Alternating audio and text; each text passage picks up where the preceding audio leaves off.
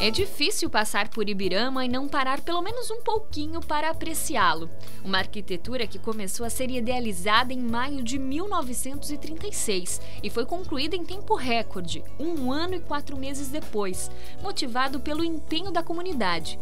Como na época não haviam recursos financeiros, os colonos montaram esta ficularia, que inclusive funciona até hoje. Lá, cada um deixava a sua contribuição em mandioca. No projeto original, algumas questões tiveram mudanças, como essa torre mais alta, que deveria ser no centro, mas depois acabou ficando na lateral, talvez pela vista privilegiada.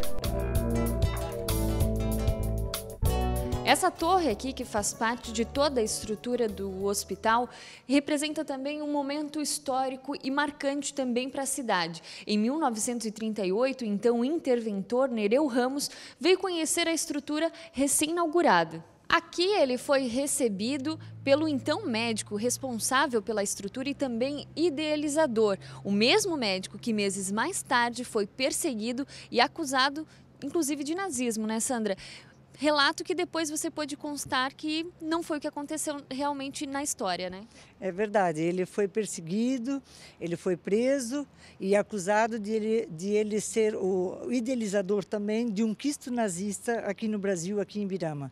Eh, ele foi preso, foi levado para Florianópolis eh, inicialmente, depois transferido para o Rio de Janeiro, onde ele ficou na Ilha das Flores, ficou preso por mais dois anos, e depois ele foi solto em virtude da falta de provas para, para isso. E ele, na verdade, pelo que se sabe depois de histórias contadas por ele no fim da guerra, ele não tinha nenhuma ligação com os nazistas. Ele só era uma pessoa importante na cidade. Mas muitas histórias intrigam moradores e visitantes, como inclusive a existência de túneis e até elevadores secretos escondidos na estrutura.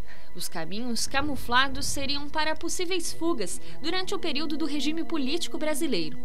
Fatos que nunca chegaram a ser comprovados, mas que estão presentes na memória do Hansa. Não tinha motivo para é, construir um túnel na época que o prédio foi construído, porque em 36, quando ele foi concluído, e 35, 36, quando ele foi construído, o Brasil tinha uma amizade com a Alemanha, não tinha por que fugir da Alemanha. O que tinha, na verdade, era um elevadorzinho que levava as louças para os andares da alimentação dos doentes. E um outro que era um pouco maior, então era elevador que é, transportava a roupa suja e limpa. Após a passagem do regime militar que tomou a estrutura, o estado de Santa Catarina devolveu o Ranzaré à comunidade em 1986.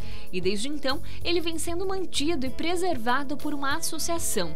Em um dos quatro andares da estrutura estão abrigadas clínicas médicas em espaços alugados. Outro andar está destinado para o Museu Municipal Eduardo de Lima e Silva Herhan, que foi o pacificador que fez o primeiro contato com os índios choclens na região.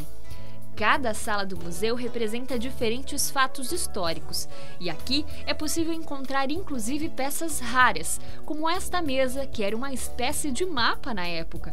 Feito em 1917, ele era uma espécie de controle de doações para ajudar a Cruz Vermelha Alemã durante a Primeira Guerra Mundial.